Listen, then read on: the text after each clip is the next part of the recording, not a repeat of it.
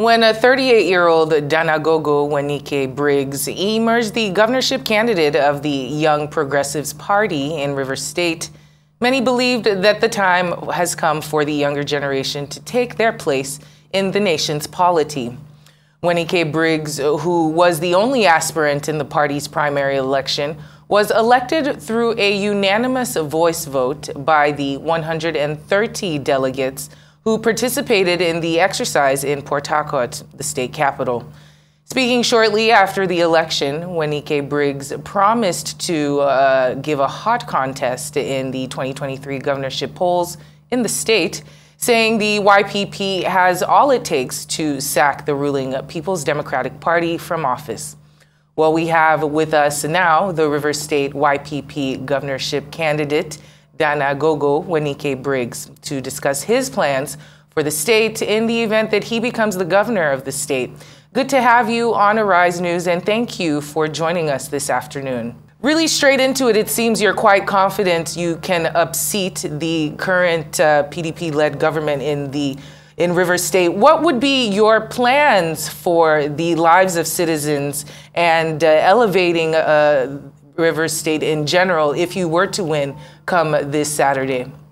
Okay, thank you very much for having me here on the rise. Um, well, I, would, I, think I'll start from the second question because the plans for actually having or improving the lives of Rivers people is captured in what we actually call 3E agenda education, employment, and entrepreneurship. We believe this is the basic uh, system that can be put in place to make this state strive, you know, to whatever level. Because we also see that in the in the in the world, you know, these are basic things that actually can put any society uh, in the form that can uh, actually promote it. So, uh, in terms of you know breaking down into these three agenda one of the major things we actually realized is that we noticed that Rivers people were basically very unemployable. You know, so that led us to where we decided to see how to educate them formally or and informally in terms of being employable enough you know, to actually get into this, to, to, the fact where they can get jobs, you know, because according to National Bureau of Statistics, 43.7% of Rivers people are basically unemployed. So even if we get get these factories in, we get these uh, industries in, you know, in some form to see how to help the Rivers person. You know, we also notice that they're unemployed, so that's where the education comes in. You know, and going deeper. Then we also notice that the SMEs in River State are basically not too uh, strong in terms of building a stable um, economy. So we are also looking at the fact where we're going to strengthen SMEs.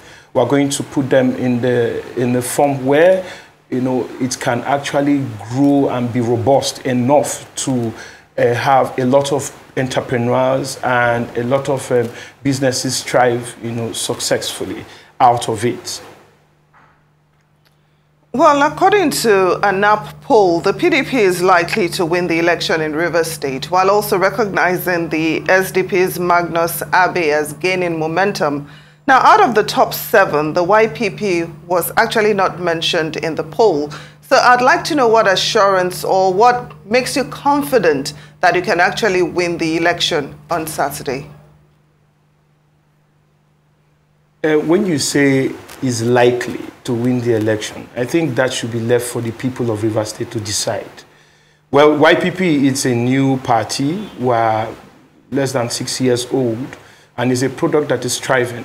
Well, uh, I think the seven-man um, uh, candidate that was actually uh, invited I made a call to find out why the Young Progressive Party, because in the state, I represent the youth. In short, a lot of people know me as the youth governor.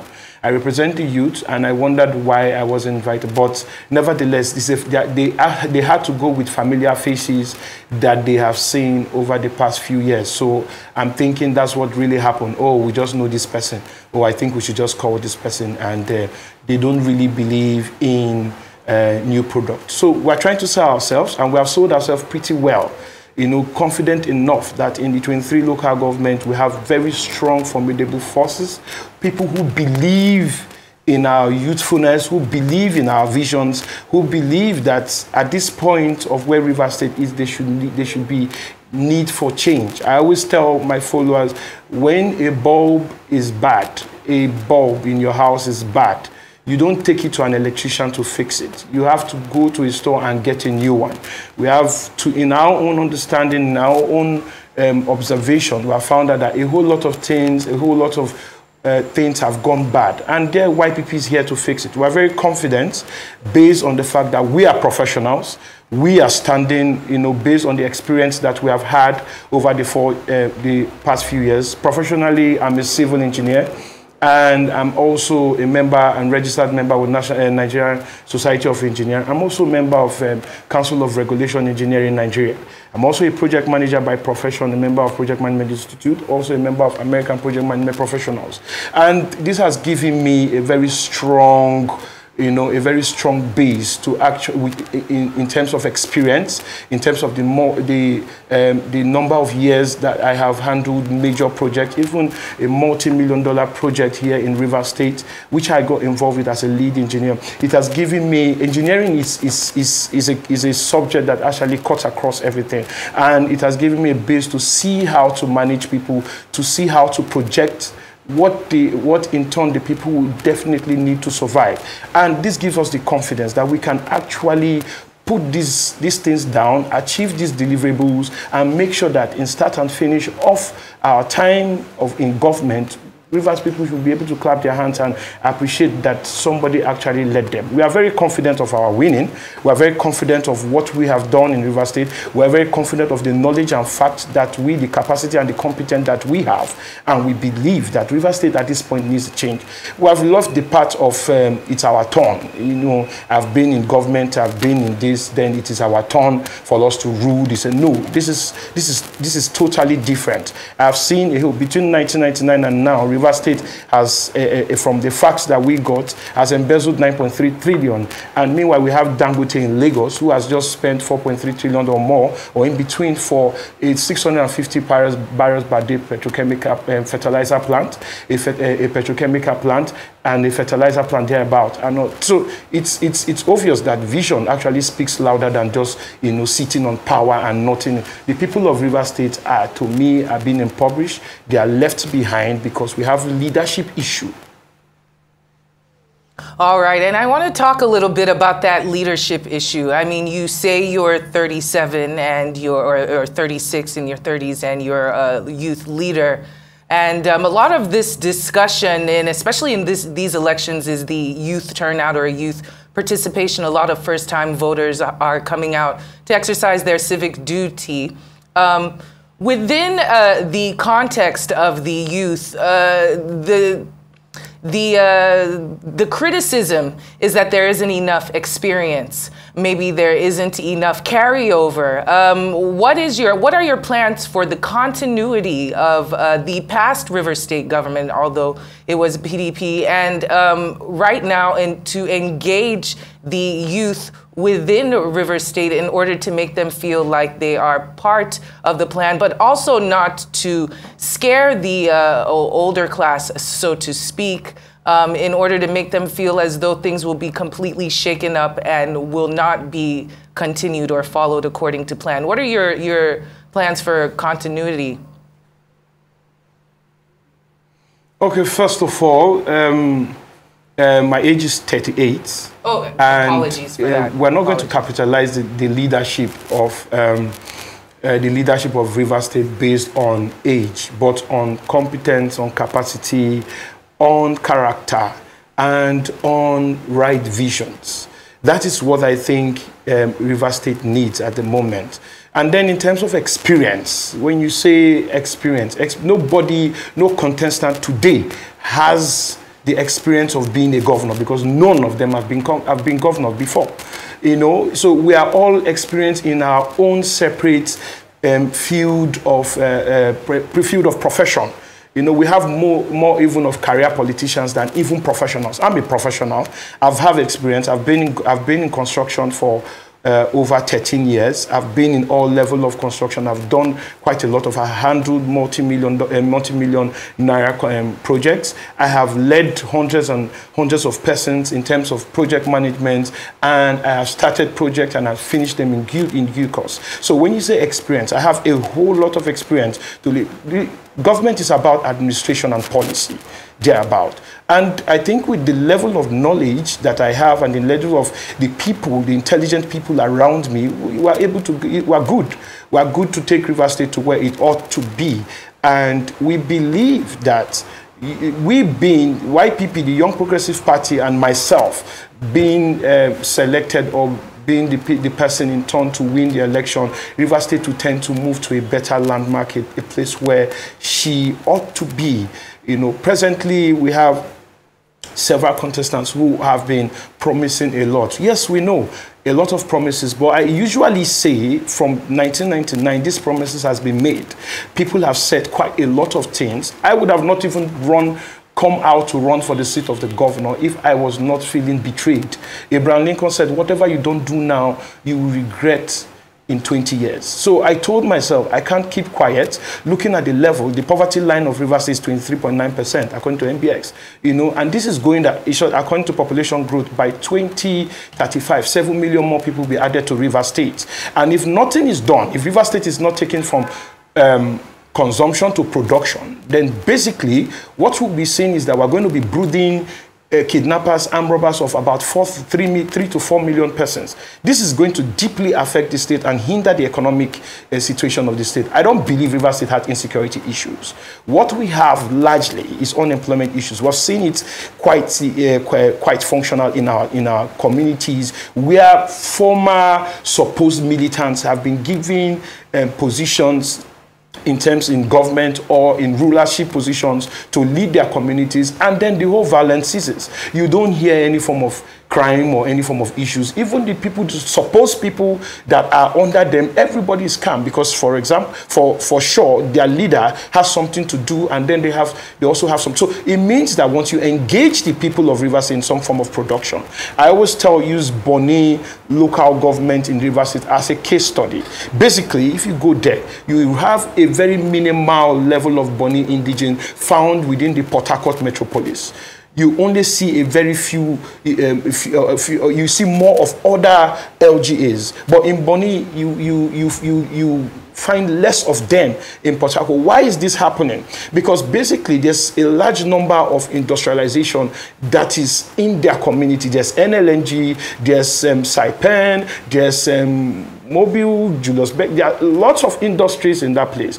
Within 1999, arguably, if you have ever noticed uh, among maybe the crimes, the kidnappers and robbers, dead or alive, that the law enforcement agency has caught one way or the other. If you have noticed, among, if, if for example, they catch 10 persons today, you will hardly almost not notice that among these 10, okay, these two here or this one lying down here or sitting down here is a Bonny indigene. It is surprising. It is something that we have looked at and say, why is this not happening? Now, I'm not saying that they don't have knot heads in that place. Yes, they have, but it's very minimal. The truth is that a large number of Bonny indigenes, and being factual about them, are involved in some form of productivity or not. But the remaining part of River State are not in, in being engaged. They are not enjoying that part. They are not seeing the reason for it. There's no there's no place to put the youths. So they wove around, they do things that they get involved. So you see what is the what what what you find them mostly doing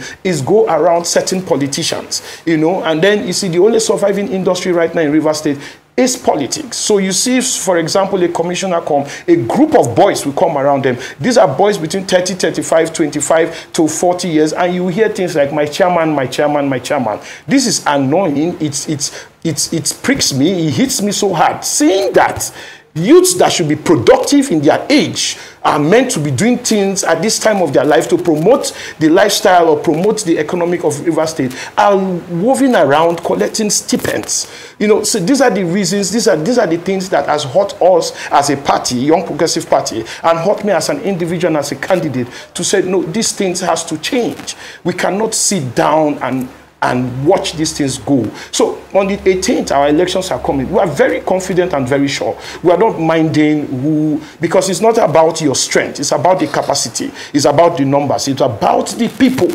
What is what does the people what do what do the people want?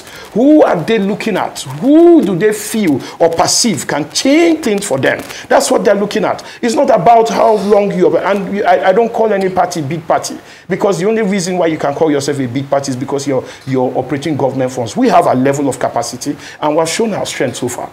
Mr Wanike briggs thank you so much for that now, you've talked about how you plan to develop River State, but I'd like you to touch on an issue, which is the issue of environmental degradation. We know that that's quite um, rife in the South-South region, which River State is one of. How do you plan to tackle issues of environmental degradation, oil spills, and other hazards that, um, that are common in River State? I think when priority are given to certain things, it, it will be tackled and it will be taken care of. You know, not until the last administ this present administration uh, took a strong turn on stopping the level of um, hazard that has been in, in terms of um, uh, what they call it, illegal bunkering, that has been affecting uh, the state. You know, it affected a lot of health, it affected a lot of people, children, and all that. You could everywhere in our houses where we had suits and all that. So, you know, until the, until a strong uh, um, force or strong decision was taken, eh, those things did not actually um, actually go down. So, so it shows, what I'm trying to say is that it shows that once a government is ready to put things right, you put things right.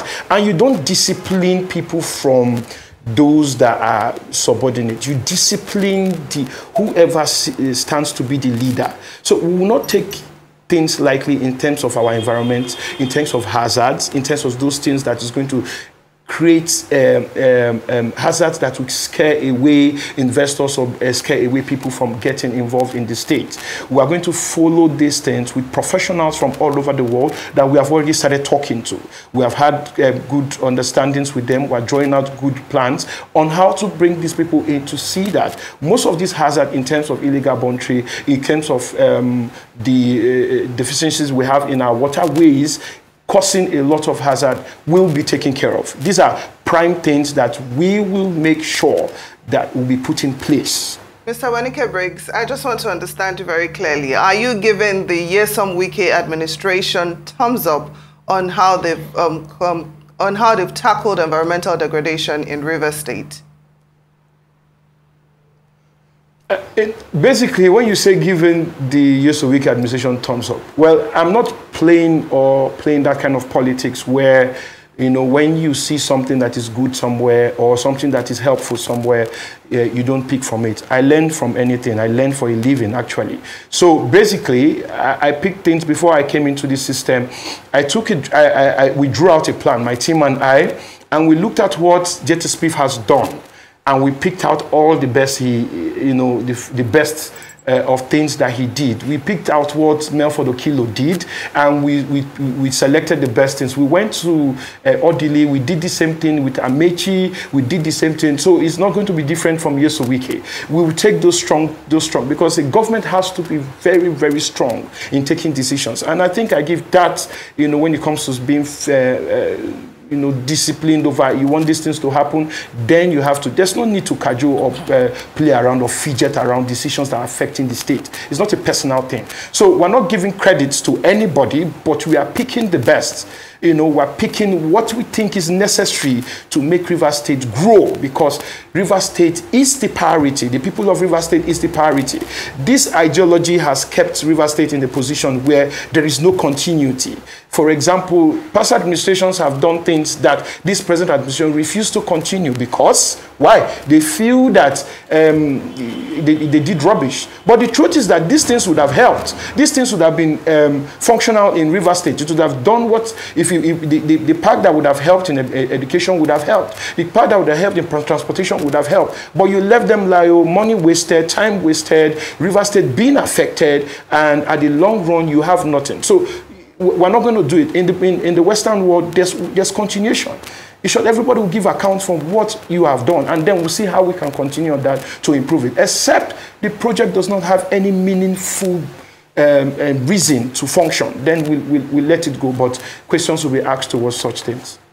Well, Engineer Dana Danagogo Owenike Briggs, the River State YPP gubernatorial candidate, thank you so much for joining us this afternoon and all the best with your campaign.